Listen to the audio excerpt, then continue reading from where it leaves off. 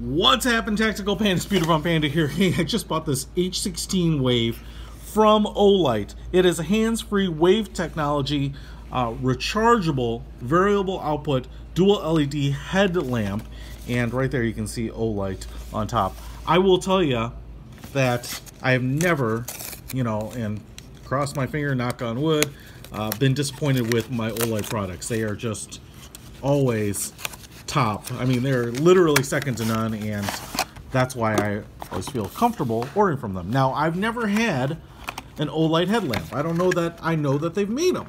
And so, super excited to see these because I love headlamps. I love flashlights.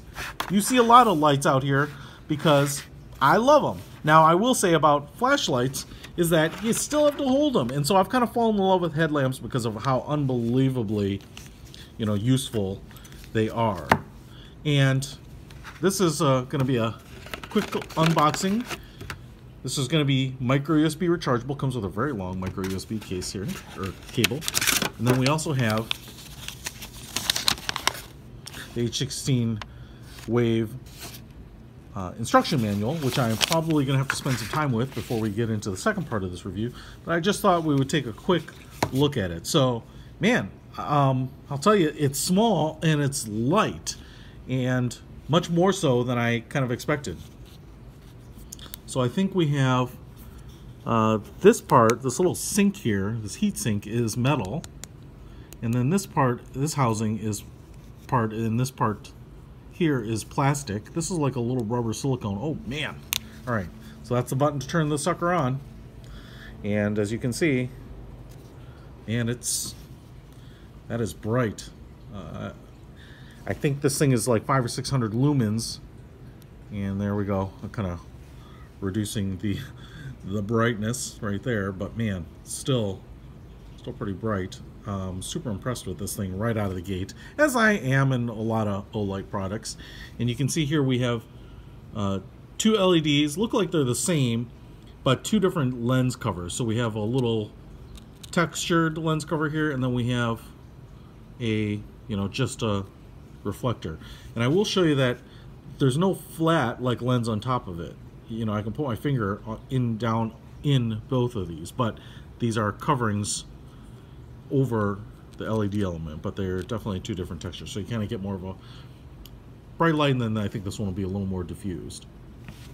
All right, and then you do have a little couple little ears here on the corner, and that'll help get you to the right angle. So you do have some pretty nice adjustability and some really distinct clicks in there.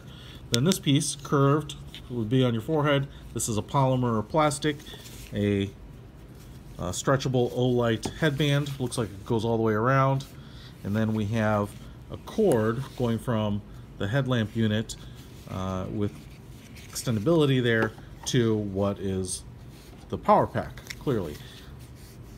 Curved piece here should be really comfortable on the head, and then Olight power pack, and I'm just trying to see how, looks like maybe this will tell us charge level, so it looks like it's fully charged right out of the gate. And then here is the micro USB port. I mean, everything is super tight on this. There is nothing about this plastic that feels chintzy. You can get some of the cheaper headlamps and, you know, in pictures they look fine, but they just don't feel very robust. You can feel that this case is packed with, I'm assuming, a lithium ion battery. And uh, we'll probably find out what the capacity is on it, but, oh, it says right here. Oh, it's a 2000 milliamp hour battery. And I can feel it. It's got some weight to it. Not like heavy, but it just feels like there's a lot of intention in the way it's designed. The battery and the plastic kind of molded right around it, so it's really space efficient, small, slim, and yet dense. And then even the cover here, I just like how it's thought out, so it's not one that's tethered right next to here and makes it so hard to get the plug into the micro USB port. It kind of has a pull away there, so you get plenty of access to it.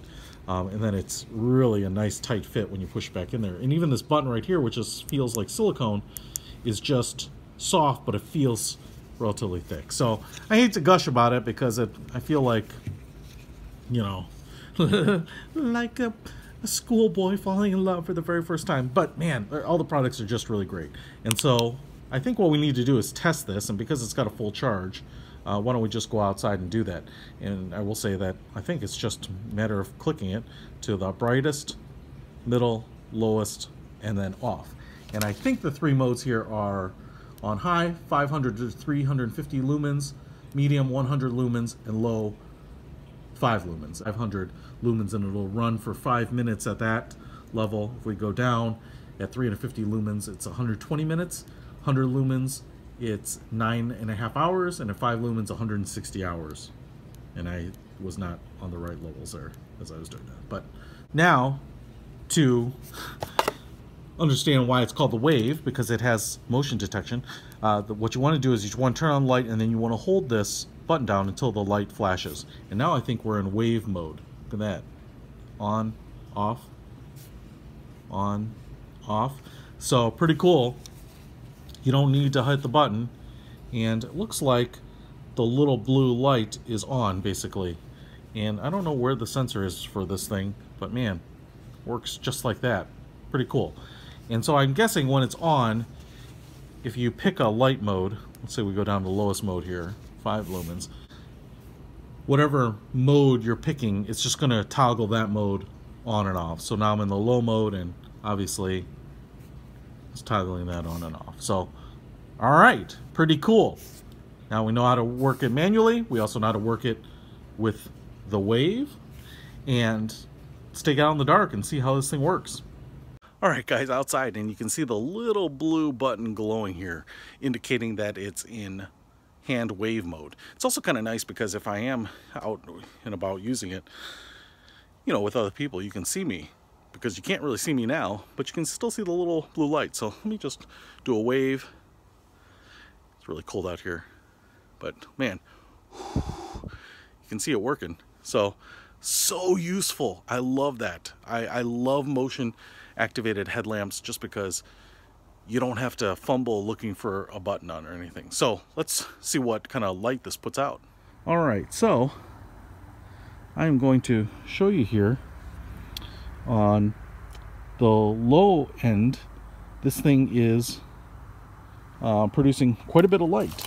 You know, more than enough to do a little hiking, a little navigating through a camp, uh, even walking down a path. Now, I wouldn't bike or move it at a great speed with it, but even you know 10 feet out I'm getting pretty decent illumination just, despite what's probably showing up on the camera. And now I'm just gonna actually take the light off of the wave motion mode and start scrolling through the levels. So here is the bright level and yikes man that is friggin bright huh um and and the cool thing about it is I think that lens that really diffuses the light you know I don't see like one of those distinct center patterns really like the spotlights that you do on you know a number of the flashlights that I'll bring out here.